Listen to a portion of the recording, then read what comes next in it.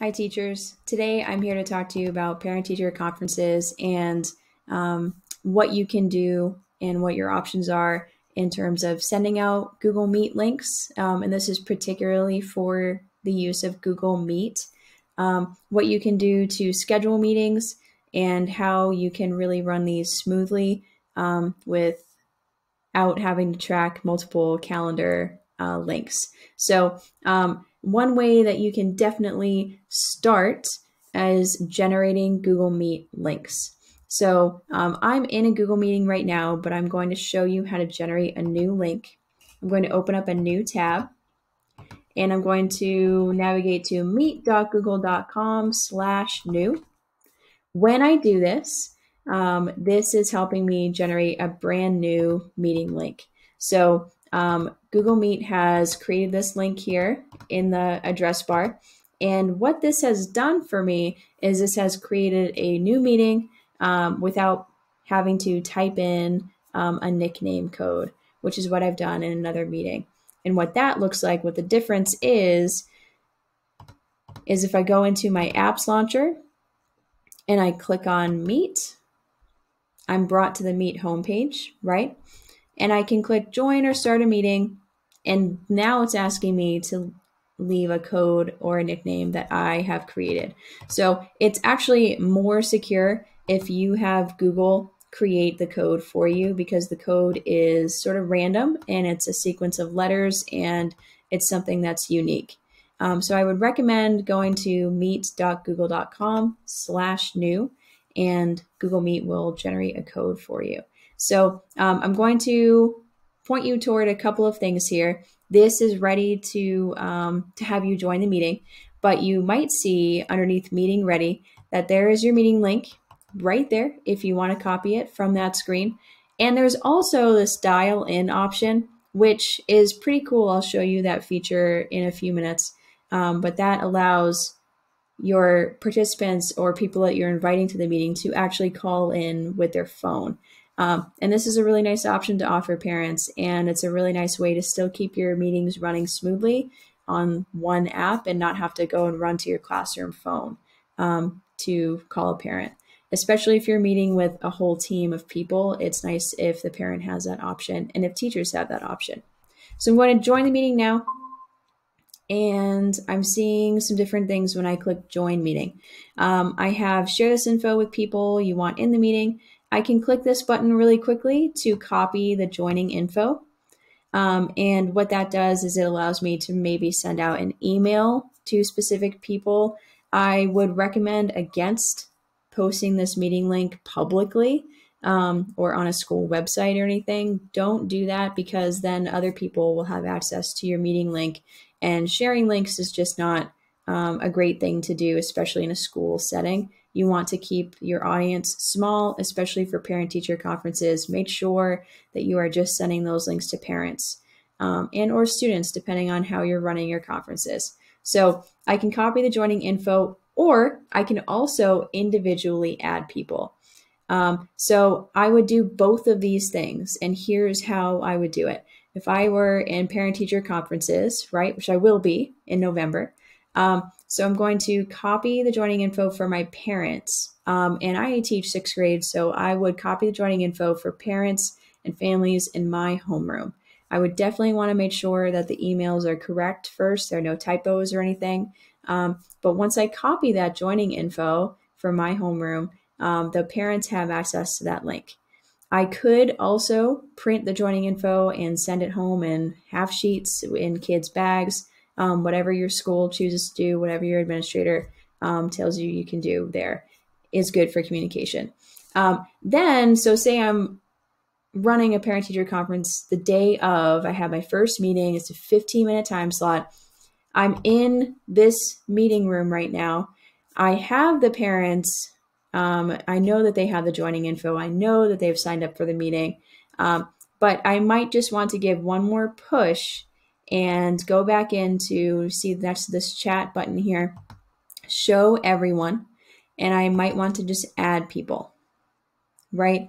So I'm actually going to type in a name um, and then individually add people as well. So if I'm not seeing that the parent is um, getting the link, I might want to add people um, and make sure that the parent has the link information.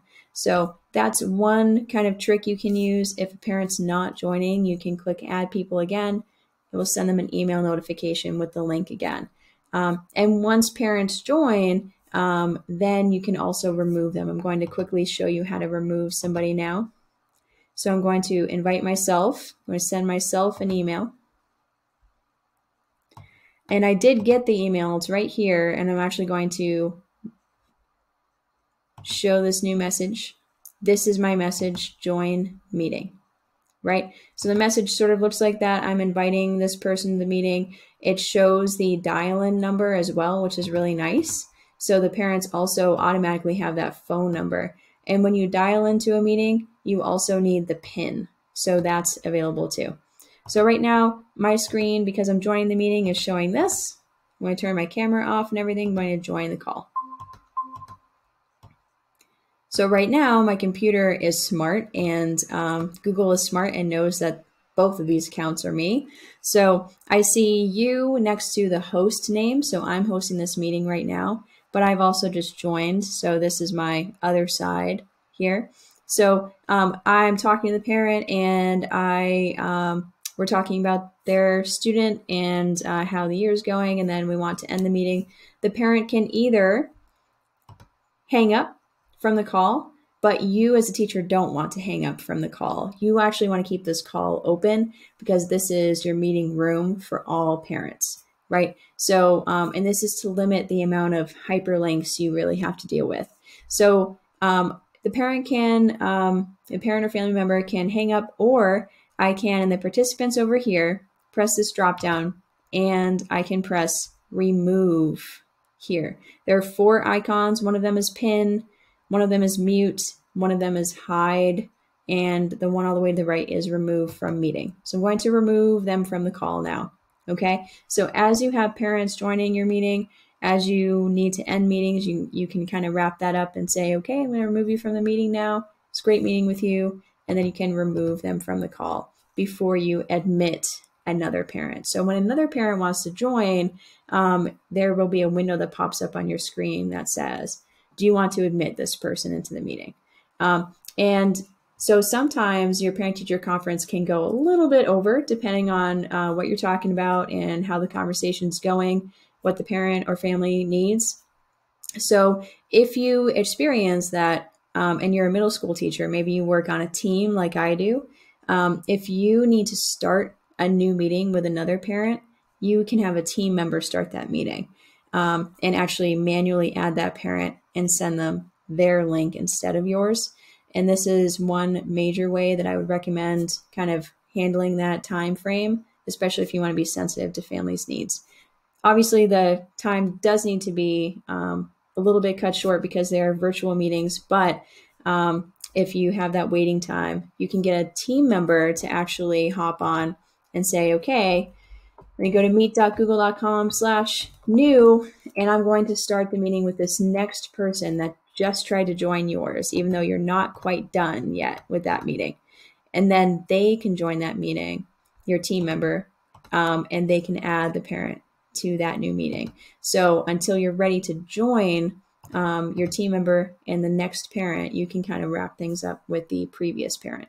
Um, and that's really important too, because um, we are in a time that's a pandemic, and um, parents really need us right now, and they might want to spend a couple extra minutes with you, um, and they they need to know how their kids doing in school, and they can't come into the school right now. So you might want to spend a couple extra minutes there. So I would suggest um, having three, two to three. I have three team members. Um, I would suggest having a few computers out, two to three, um, at least, so that you can have team members help you with that time management um, of wrapping up that phone call, starting a different meeting.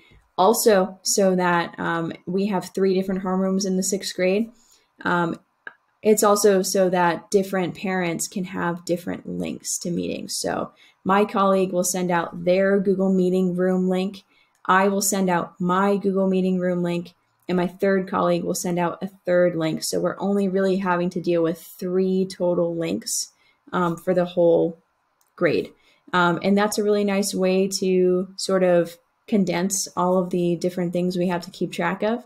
Having three links is way easier um, and allows us to have a lot more control and allows us to help parents troubleshoot a lot better. So um, those are a few of my tips. I did I did draw this out on a piece of paper. I had like an epiphany today, and I said, okay, we're gonna have three different meeting links here, and I'm going to send out the links in particular emails to particular parents, and we're gonna have these ready. Then we're gonna switch. So it's really about how you want to structure your parent teacher conferences with your teammates. Um, if you are a teacher that is in a classroom um, that has way less students, then um, I might suggest using Google Calendar to send out links instead because having 10 to 15 time slots on your Google Calendar looks very different from having 40 events in one day. Um, so just be considering how you want to do that. And um, remember that the meeting details down here will show you the Google Meet link should you need it again. Um, the dial-in number is here. Oh, I did want to show you the dial-in number and how that does work. Okay, so I'm going to remove myself from the meeting here. Remove. And I'm actually going to dial in right now on my phone so that you can see what that looks like live. So I have my phone here and I'm going to open it and I'm going to call this number plus one nine two nine three two four 1604. So I have the number on my phone here. I've just typed that in. I'm going to call it and I'm going to put it on speaker so you can hear what. Enter the meeting pin followed by the pound key. So I'm entering the meeting pin. Thank you. You're joining a call with one other person. Okay, I muted my, my Google Meet call, but you can see that on my screen here, I see that my participant is just by phone. I can tell when they're talking because this bubble sort of gets bigger.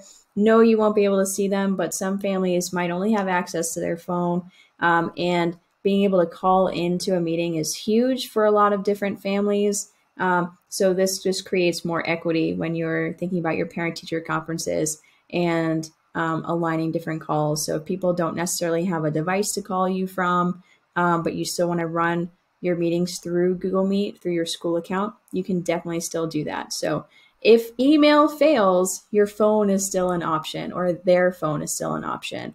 Um, so in whatever way you want to communicate your links to the parents, don't forget to include the PIN and the dial-in number. You need both. Okay, I'm going to hang up now on my phone and I can see that this person has left the meeting. Um, so don't forget to include that information um, when you send out that information to parents. Don't forget to talk to your team members and your administrators about like kind of how you want to arrange your meetings. But I wanted to tell you all this so that you could avoid having so many different events in your Google Calendar because we do know at this point that we can add video conferencing to Google Calendar you could definitely still create your meetings um, and your links through that.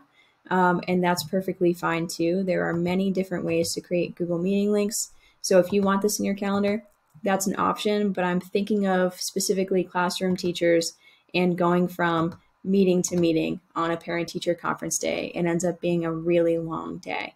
So um, if you have any feedback for me, please let me know. But this was one way that I could kind of think of um, and I wanted to show you how to add people, remove people, and how to access the Meet link information um, because parents also need to know that in order to join the meetings. So thank you for your time and uh, good luck with parent teacher conferences.